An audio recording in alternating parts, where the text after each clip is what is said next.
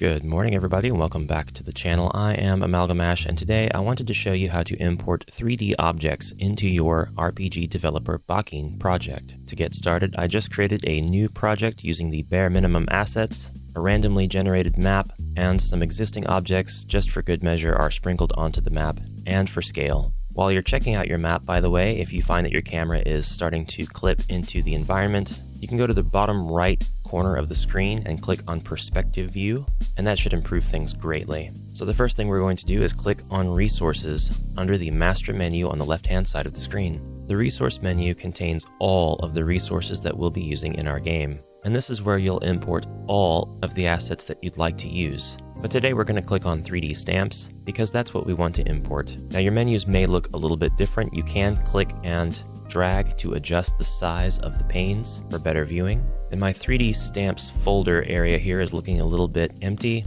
That is because I started with the bare minimum asset project. But anyway, it is here that we want to add our assets, so let's go ahead and click add. And we are brought to the asset picker. This screen is separated into three parts, which are also all adjustable. The left hand side is the additional menu. All of the DLC that you get from Steam for RPG Developer Bakin will be listed here. I grabbed all of the free assets, and so I've got a folder for each one of those asset packs by default. So let's start by importing one of those asset packs. I'll just go ahead and select Nature Pack Volume 1. The center pane here will update depending on what you've clicked on the left hand side and it will show you the folder structure of that asset pack. The right hand side of the screen will show you a preview of either what's in that folder or of the file itself. So we're going to click on the 3D stamps and 2D stamps folder, actually double click on it, and then double click on nature, and then you see that there are several subfolders, each one containing a variety of models and they're all categorized within their subfolders. Now you can import one of these resources if you want just by double clicking on it or clicking on it and then clicking add and exit at the bottom of the screen or you can hold down the shift key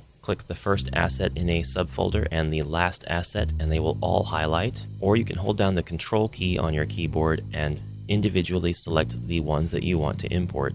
Unfortunately right now as of the time of this video's recording we can only import the assets of one folder at a time but once you've got what you want selected, just click Add and Exit. You'll get an information window telling you that this has succeeded, and now your 3D assets will appear in your resource menu. If you want at this point, I would advise adding a folder, and you can name this folder whatever you want. I'm going to name it Trees. Select all of your assets. I just held down Shift, selected the very first item and the last item to highlight them all, and then drag them right into the Trees folder. And now they'll be sorted into this Trees folder, and I can collapse the folder. If I want to get the rest of the stuff from the nature pack, I'll just select it in the asset picker under additional menu again, go to trees 2, select all of those trees, add an exit, select all of the trees in the 3D stamps submenu and drag them right into my trees folder so they can hang out with the rest of the trees and they all coexist together here in this folder. There's no issue with merging them.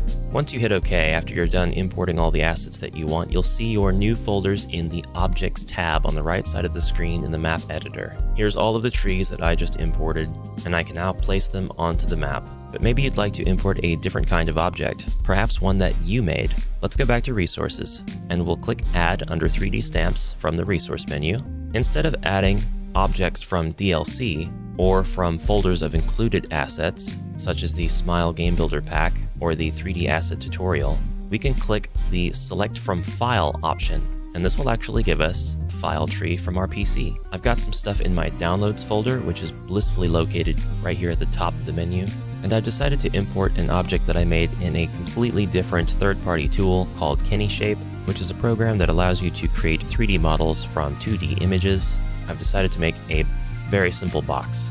We'll export this model as an FBX, which Bakin will recognize, unwrapped with Optimize on, and I'm just going to call it Bakusu and save it to my Downloads folder. When I go to my Downloads folder in the editor, I can now see that bakusu.fbx is available for me to select. Don't just add these assets. Make sure that you pay attention to the bottom of the screen before you click that add and exit button. For one thing, we need to check Add Optimization when importing FBX file under Options here. For another, we have to make sure that the scale is correct. If you import a 3D model and the model wasn't already optimized for, say, Smile Game Builder or Bakin usage, and the scale is set to 1, that model is going to look huge. You won't even be able to see it in the preview, and you'll think that you didn't import anything at all. So we'll set the scale to 0.005. That's right, 0.005. Then click Add and Exit. And Bakusu appears in the editor just fine. He even already has his collision.